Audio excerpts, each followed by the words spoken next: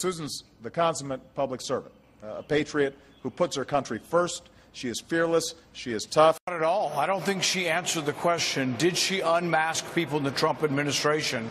She says, well, maybe I did, but I didn't do it for political reasons. I think it's incumbent upon her to try to prove to the American people why it wouldn't have been a political reason. If someone were investigating the Trump administration, it would be the FBI, not political people in the White House. She's a political appointee that reports directly to the president. The real question we need to ask Susan Rice is Did the president direct you to eavesdrop and sift through all of the mountains of intelligence we have? Do you know that over a million Americans' phone calls are listened to without a warrant? We need to protect American privacy and use the Constitution.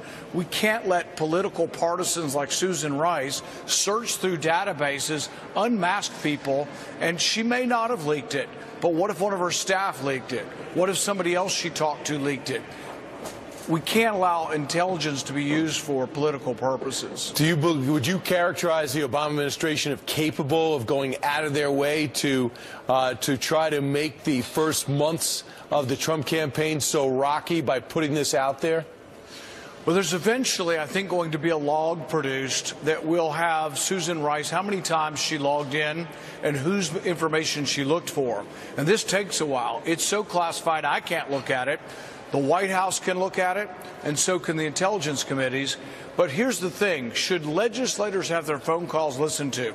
If I am talking to an ambassador around the country yeah. and I have a different opinion than the president, should the president get to listen to my phone call in order to counteract me politically? That's a separation of powers issue.